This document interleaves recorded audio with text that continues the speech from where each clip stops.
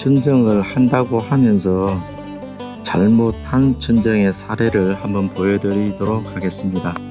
지금 앞에 나무가 지금 보이는데 이 나무를 전정을 한다면서 대부분 1차적으로 잘못하는 전지가 이렇게 전정을 하는 것입니다. 지금 보시면 아시겠지만 이 중간 부분을 한 40cm, 50cm 정도 두고 윗부분을 다 잘라내는 것입니다. 이것도 사실 강전정이라고도 얘기할 수 있습니다. 근데 이거와 같이 이렇게 나무 소구가 크다면서 윗부분을 이렇게 다 잘라냅니다. 그러면 자 소구가 너무 크다면서 예전에도 제가 이렇게 사실 전쟁하시는 분들도 계셨습니다. 그 이것은 아로니아 나무의 특성을 전혀 이해를 못한 분들이 하는 것입니다. 그럼 이렇게 잘라, 잘라 놓고 나면 본인이 볼 때는 깔끔하게 정리가 잘 된 것 같이 생각을 하실 것입니다.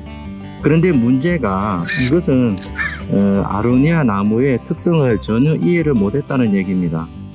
그리고 왜냐하면 이렇게 자르게 되면 열매가 내년에는 전혀 없습니다. 전혀 거의 뭐 조금 일부는 올 수가 있겠습니다. 그러나 대부분 열매가 없습니다.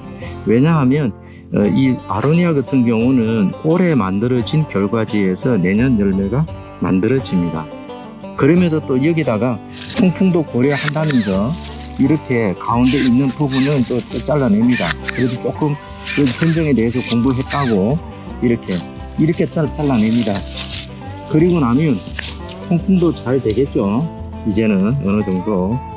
그럼 이렇게 잘라놓고 나면 이게 내년에는 어, 전혀 열매가 거의 없습니다. 그런데 요 가지 하나, 요거 같은 경우는 내년에 열매를 올 수도 있습니다. 그렇지만 이것도 어, 햇빛을 제대로 받지를 못한 상태라면 내년에 열매가 거의 오지 않는 그러한 상태라고 보시면 되겠습니다. 그래서 어느 정도 전정이 된 것을 보시게 되면 지금 보시고 계시는 이거와 같이 우리가 햇빛이 잘 들어갈 수 있도록 한 다섯 개, 여섯 개 정도의 주 가지를 두시면 되겠습니다. 그래서 지금 보시는 대로 이 윗부분, 여기 윗부분만 열매가 내년에는 옵니다. 여기서부터 여기 윗부분, 여기, 여기도 여기서부터 윗부분, 그럼 여기도 여기서부터 윗부분, 여기도 여기서부터 윗부분. 올해 올라온 가지만, 자란 가지에만 결과지가 만들어진다는 얘기입니다.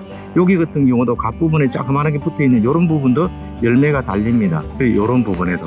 그래서 이렇게 가지가 이렇게만 남아 있어야지 내년에 결과지가 제대로 달릴 수가 있겠습니다.